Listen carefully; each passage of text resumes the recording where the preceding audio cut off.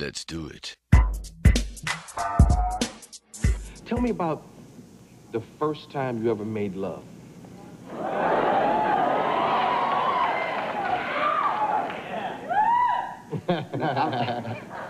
I've heard this story before, but I want them No, you're not. Yes, I, I still, I, am. still have a gear shift indentation in my ribs. I, no, I can't. I, Yes, you actually, can. it's, it's, which one was it?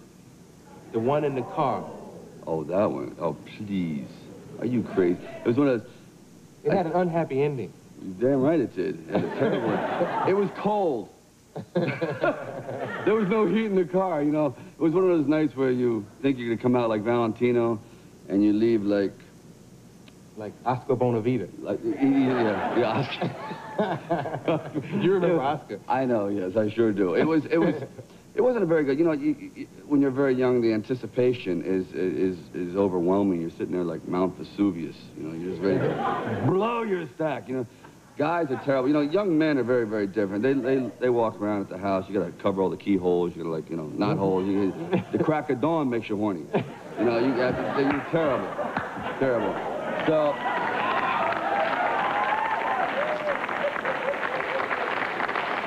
I'll leave it at that, but I, it, I did get a rematch. I did get a rematch. Well, you got to explain to them what that means, uh. I just, it just wasn't good. It wasn't, it wasn't, it didn't come off the way I thought it was going to come off. Literally and figuratively and everything else. You know, it's tough to make love in a Fiat 600, you know.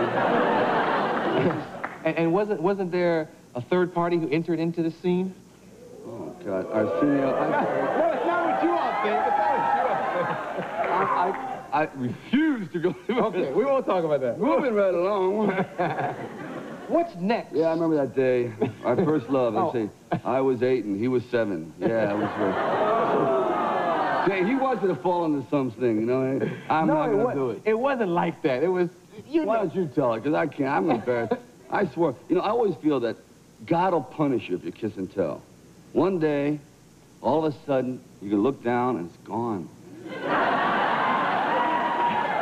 I was just joking. I swear, I, I have this fear that I said, you can't kiss and tell because your karma. You know what I say? Everything comes around, everything will come around and fall down. I'm, I'm just. I Okay, said, I won't let you out of this you one. thank God. Sylvester Stallone. Lock up.